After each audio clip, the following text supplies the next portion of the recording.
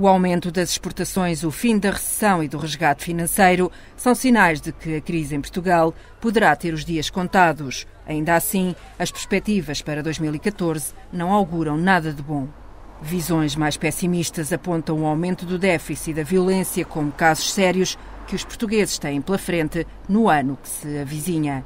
A situação cada vez vai estar pior e provavelmente vai forçar à violência mesmo que seja cumprido o objetivo dos 4% do PIB no, que vem no Orçamento de Estado, mesmo assim será um déficit elevado. Uh, dificilmente haverá facilidades no financiamento que nós precisamos para a economia e para o Estado. Portanto, no ano em que a Troika diz adeus a Portugal, há também quem defenda que a temida austeridade veio para ficar, a menos que a Europa entre em sobressalto para sair da rota do abismo.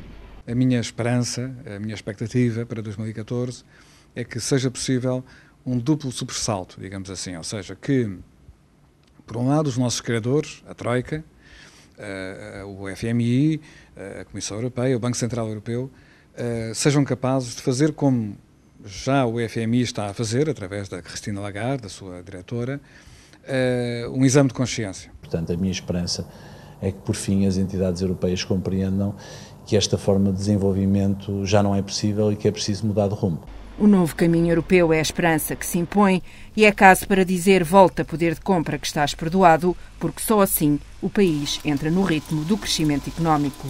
Sem eh, aumentar o poder de compra dos portugueses, eh, dificilmente nós poderemos recuperar ou retomar o ritmo de crescimento eh, que é necessário, porque não basta termos sinais tenos de que já não estamos na recessão técnica, etc. Isso é bom, mas não basta.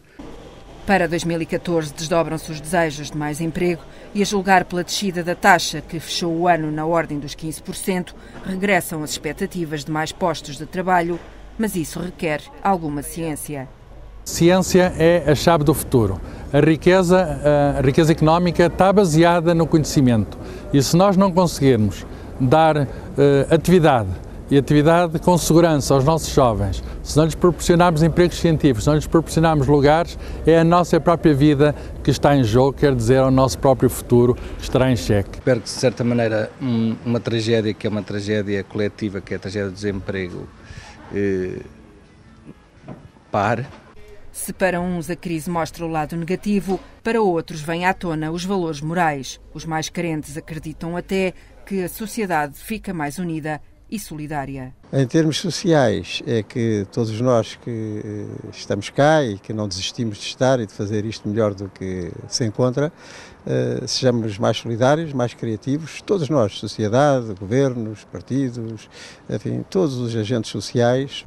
Pensar positivo é o que se precisa neste momento com os mais otimistas a defenderem que o país vai acordar do pesadelo e dar a volta por cima. Estamos a passar uma má fase, mas vamos pensar que, que as coisas vão, vão dar a volta e vamos passar positivo. Eu acho que o próximo ano vai ser um ano, um ano diferente, um ano melhor, um ano bom e esperar que, que todos nós portugueses as possamos dar muitas alegrias ao nosso país. Que depois vem o Mundial e aí vamos estar suspensos numa espécie, uma espécie de, de esperança eh, normal, que eu, que eu vou estar também, com certeza, para tirar uma espécie de férias deste, deste pesadelo pequenino que, que, nos caiu em cima. Dez nomes para dez testemunhos diferentes, mas todos eles acreditam que se Portugal encontrar o caminho certo, o ano 2014 será muito melhor.